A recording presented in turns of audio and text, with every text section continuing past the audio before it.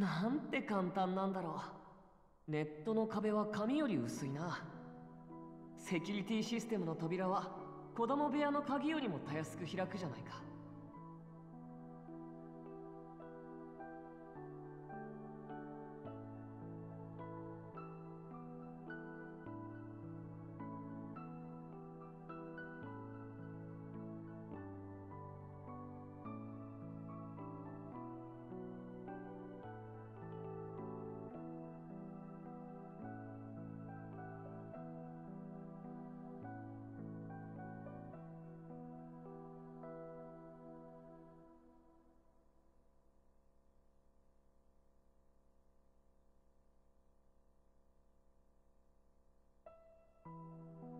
この塔の中にあるはずなんだ。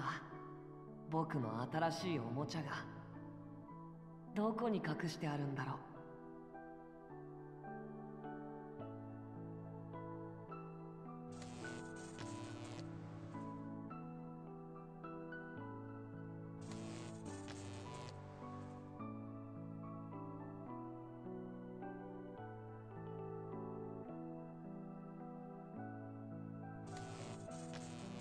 見つけた。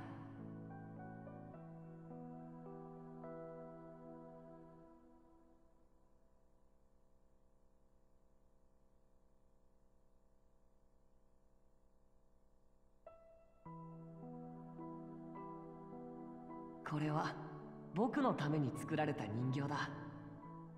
こんなところにしまい込んでおいちゃかわいそうだ。さあ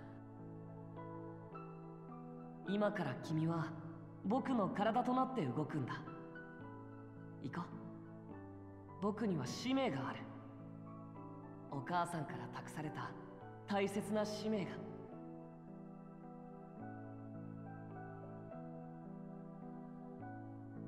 人を幸せにする。それが僕の使命だ。